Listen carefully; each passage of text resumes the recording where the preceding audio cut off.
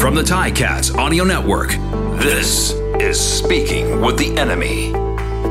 Yes, it is speaking with the enemy, and the enemy this week, the Edmonton Elks, and the man who has the uh, the color descriptions on 6:30 CHED in Edmonton is Dave Campbell, and he's with us now. And uh, David, it is safe to say that this is not the way the Elks saw their season going.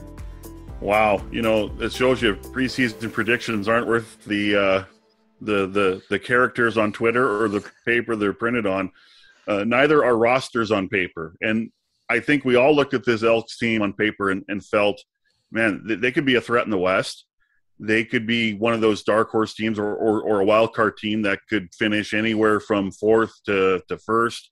Uh, I had them finishing second. I thought the talent level was enough to to overcome a rookie head coach in Jaime Elizondo.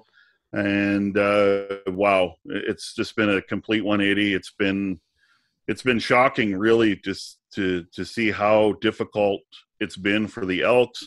Uh, and it really started from week one. They should have beat the Redblacks. They were the better team, especially defensively, but you know they let that one get away, and and that's been kind of the theme of the season in, in some respects, and in other respects, it's just been you know the the COVID outbreak didn't help, and there's you know there's a lot of noise around the club, and but when you have a losing season, you're going to get that. So unfortunately, they haven't been able to overcome it, and uh, that's why their playoff hopes are are hanging by a literal literal thread right now. And it's you point to that because you really can't pinpoint a specific part of the season that that that's really been the catalyst for everything. I mean, because you know, even though Trevor Harris struggled, there was still signs like that Labor Day game when he puts up 400 yards. I mean, there were still signs that he was the quarterback they thought they were getting, you know, a year and a mm-hmm. half ago. So, I mean, what what what do you attribute the kind of chaos of this season? Everything kind of all COVID outbreaks. Really, I mean, it, there, it's been a chaotic season to call to put it lightly. Yeah, um, but there I really think, is no catalyst to it. I think. Like, yeah, I I don't think there's one thing, and and usually in sports you you can point to one thing. Uh, a lot of it does start at the quarterback position on offense, and Trevor Harris in four or six games, he didn't play very well. And in two games, he played spectacular. The, the game in BC, when they won their first game uh, on August 19th, he you know didn't score. I think they scored one touchdown, but they moved the ball very well.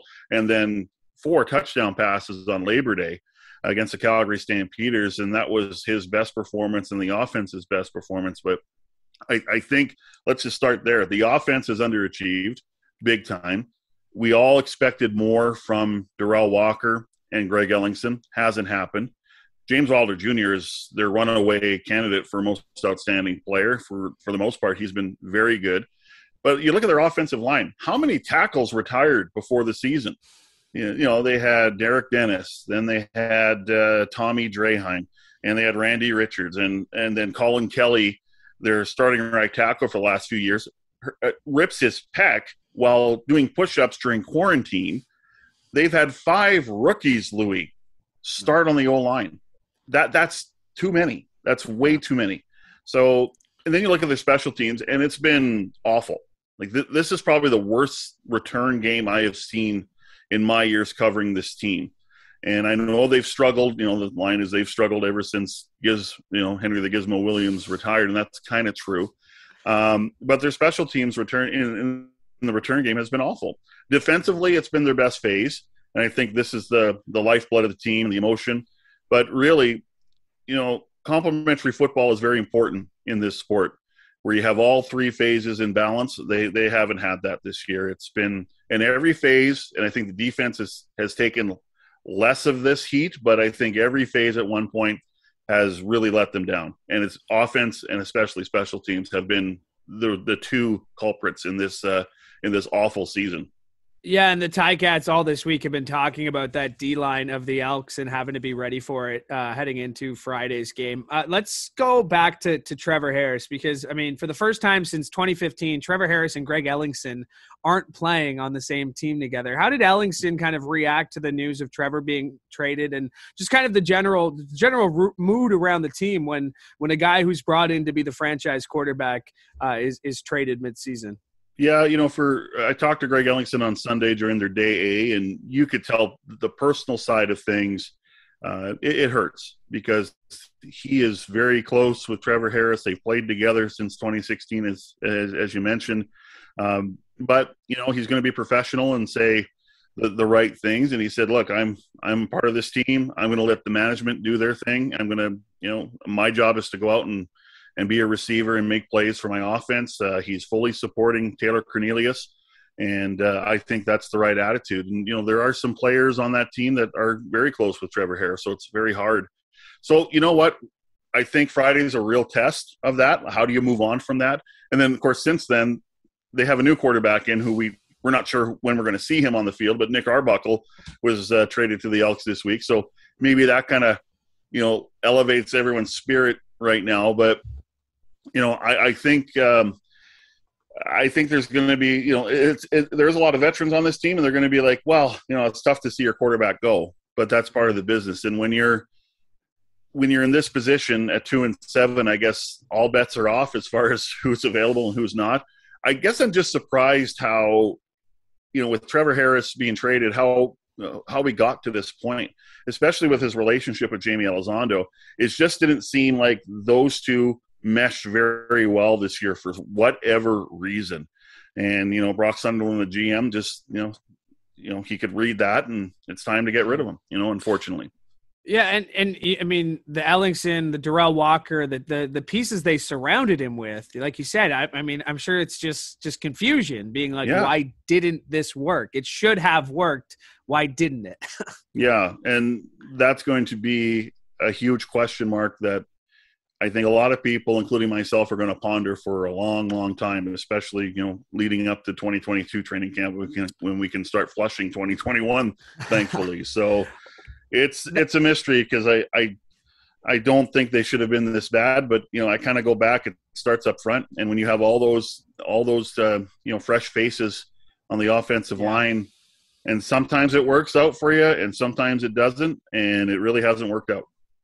Um, and we've seen that, you know, the teams that have struggled this year, Ottawa as well, like they they have a very young offensive line, and it, it's a completely different game. And especially if you're plugging Americans on there or young Canadians, like it is completely different to jump from like NCAA or you know NFL camps to to the CFL. So definitely uh, understanding the O line issues for sure. Um, let's talk about Taylor Cornelius because I mean this, he's hard to miss on the field at uh, you know 6'5", 235, whatever he is. But uh, it, are the Elks? Are you convinced that the Elks believe that this is their guy for the future? Like, is that what the next five games for the Elks are? Is deciding whether or not Cornelius is is the real deal or the right guy in in Edmonton? Yeah, I think I, I do agree with that. Uh, I do think this is a, an audition for the next five games for Taylor Cornelius. Um, and what what have we seen out of him? You know, I thought the first start against the Bombers on September 18th was uh, I thought it was impressive because he only had one full day of practice with the first team offense because Trevor Harris, who had the neck head issues, uh, he actually was cleared to practice. And then all the way through the end of day two, got pulled, and then that thrust the, the young man into uh, in, into the fire. I thought he did okay. And then in Ottawa, I thought it was a bit of a step back. Uh, he did get the ball downfield, and you can see his movement in the pocket. And then the uh, coming off the bench in Winnipeg, I thought he gave them a little bit of a spark and a terrible performance uh, by everyone in that game, except for the defense. And then I thought the best thing about the last game uh, uh here in Edmonton against the Bombers on October 15th, the best thing he did is he didn't turn the ball over. Had a couple close calls, didn't turn the ball over. But one thing I like about him is his movement in the pocket and you don't have to be a running quarterback in this league, but you have to be a quarterback that can that can move. And he gets himself out of trouble uh, quite often and changes some angles and throwing lanes for him. So, um, you, you, know, even with the Nick Arbuckle trade, Jaime Elizondo says, you know, Taylor Cornelius right now is our starter, Dakota Prukop is our backup, and we'll see where Nick Arbuckle fits in. So, uh, I think this is a real uh, big opportunity for Taylor Cornelius to see how he handles this. You know, first you know, Trevor Harris is gone, so he doesn't have a veteran other than Prukop, you know, kind of looking over his shoulder, or maybe that's the wrong term, but you know, the quarterback room's a little thin with experience, and then they bring in Arbuckle, and now that kind of changes the game a little bit because you might have the next starting quarterback of the Elks, but if you're Taylor Cornelius, I want to keep this spot. So yeah, the next five games will be very, very interesting, especially that three and seven stretch uh, to end the season, which is uh, absolutely going to be insane. But uh, yeah, this is a big opportunity, and I'm really curious to see how Cornelius handles this. And uh, you know, the one thing I loved, and I was reading your uh, your kind of tee up for the week on uh, on the global news there that uh, it's it's that Jaime Elizondo knows exactly what it takes to get into the playoffs. He's not he's yeah. not playing for next season. Like he he was very specific in terms of what needs to happen to yeah. get into the playoffs. And I think if you're on that team, it's nice to know that you know obviously the coach is going to say we're playing for this year. We're not mathematically eliminated yet. And I go back to when the Ticats started that year 0 and 8. June Jones came in, and there was still a belief in the room that hey, if yeah. we just win the next one and then the one after that, like, I, and I think that's a good attitude to have for Elizondo, despite whether or not he believes it, whether he thinks they have a chance in the playoffs. But I mean, he's saying all the right things. Yeah, for sure. I mean, I think their chances of the playoffs are something like one or two percent. Um, it, it's not big, but you know how it works in sports. You know how it works in the game of football. Is conceding the season when you even have a minuscule chance of making the playoffs, no one is going to concede the season. So, you know, yeah, Jaime Elizondo said we have five targets and we got to hit each target. Now, it's a lot of math and a lot of calculators that uh, that are coming out and and you know there's an old line that says if you have to rely on mathematics to make the playoffs that probably is a reflection of how good of a football team you are um, yeah but you know what i think with five games left They've lost five straight. They're two and seven. They also haven't won at home, which is which is crazy because mm-hmm. um, Commonwealth usually is a very tough place to play for the visiting team, but they haven't won at home this year. So, but you have to find a way to get your your team engaged. Now, I think this week was kind of easy because they had a bye week last week, so everyone comes back and there's kind of a renewed enthusiasm, and which is good to see because you know there's you worry about are there going to be fractures in the in divisions in the locker room and they've actually been quite energetic and loose this week. So yeah. uh, that's been good to see. But if you're Jaime Elizondo, you know, uh, until you have the uh, whatever the symbol is to say that you're out of the playoffs, you still have a shot at it. Even though, you know, I'm sitting here today and I'm going, ah, I don't, I don't know. It's, it's just a lot has to happen for them to make the playoffs, and I think it's very improbable. But you never know, and and I think as a head coach, you have to you have to take any sort of motivation or inspiration and sprinkle that on your football team. Well, I mean, if like you, you have to think for them, the playoffs start now, um, yes. today, like Friday, right? And and it, it would take Hamilton falling to third and them to get the crossover, right? I mean, that's the situation they're kind of looking at. So it's it's really like playoff game one for them on Friday, and I, I fully expect them to come out, and I expect the Ticats to be ready. Uh, Dave, uh, really great to connect with you. I feel like I'm uh, a little more set for Friday than I was uh, before our chat. So thank you, thank you for doing this. Appreciate it. Happy to help, Louie. Thank you. All right, this has been Speaking with the Enemy. Make sure to check us out uh, when we go live on Friday for the game. It's an 845 pregame. Uh, this is for the Ticats Audio Network. I'm Louie B. Have a great day. Speaking with the Enemy. Dropping twice weekly before every Ticats game. Like and subscribe to get inside the enemy's head.